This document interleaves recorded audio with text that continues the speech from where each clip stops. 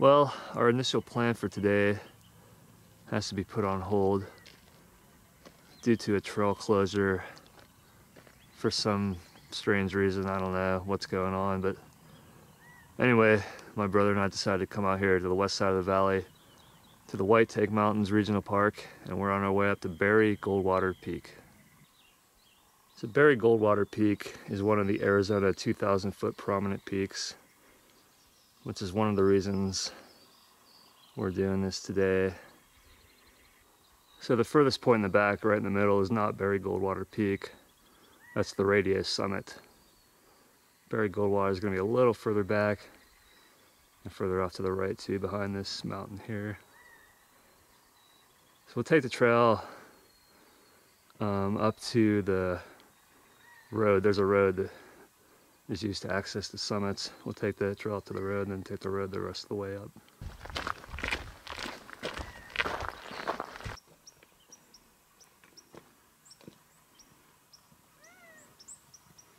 So the trail's been really easy for a while. It was steeper for a good section and then leveled out and was really level for a while. Still looks pretty gradual here. So I think I'm at the highest point I can get to here. It looks like it's a little higher than that one over there. Actually, this right here on the south side is probably the highest point here.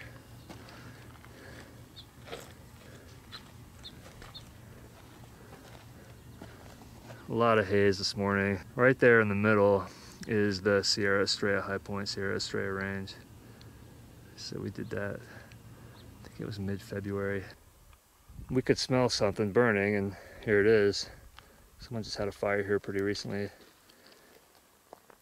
And we dropped about 730 feet since the Radius Summit and now we have about 800 feet up to Barry Goldwater.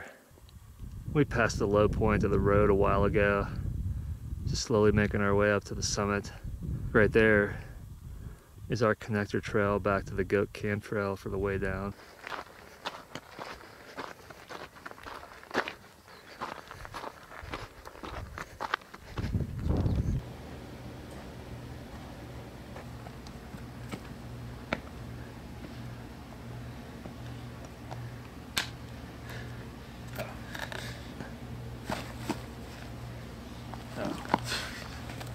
You got it, okay. I finally got it. I have to lead him along sometimes. Well, this is the view to the west. I don't even know if I'm gonna bother filming to the east. It's just really hazy out there.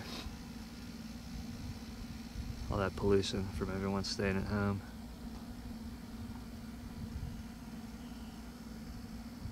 A lot of mountains out in this direction too. Definitely some cool looking peaks. A little harder to make out now with the haze, but there's definitely some neat ones. And then spinning to the north here.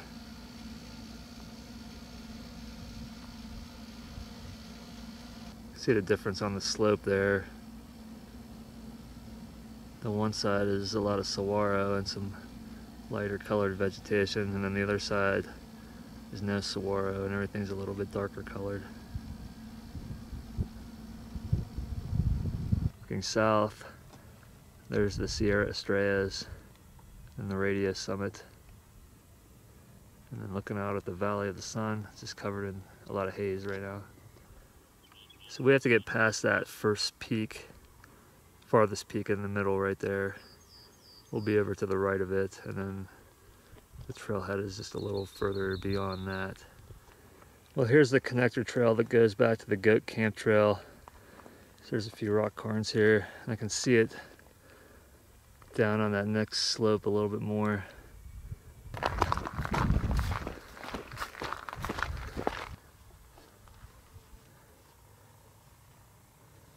Yeah, we probably would have saved ourselves a lot of time and distance just taking the road down to the wash and then coming down the wash to here.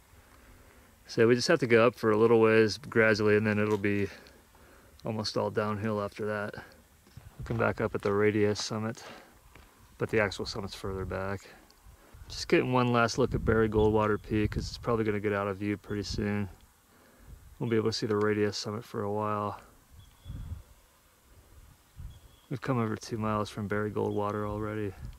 The trail's going to drop a little more steeply for another maybe three quarters of a mile to a mile, and then it'll be more level and a lot smoother back to the trailhead. Well, out there is downtown Phoenix, so the haze is starting to burn off a little bit.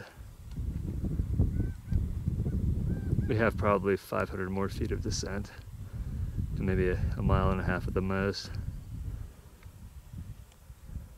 There's that peak right here that I mentioned from pretty far back. The Sky's definitely clear looking up. Seems like it's clearing up more over the Phoenix area too. Of course now it does.